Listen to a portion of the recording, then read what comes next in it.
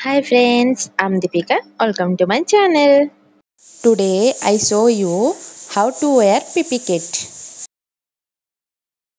A radiographer मुझे हमेशा duty time पे पीपी किट पहनना पड़ता है हम लोग हमेशा पेशेंट के साथ रहते हैं हर पल कोरोना वायरस से लड़ते हैं अगर हमको कोरोना हो जाएगा तो how can we treat patient PP kit कैसे पहनते हैं और इसमें रहना कितनी मुश्किल है, आज मैं आपको दिखाऊँगी।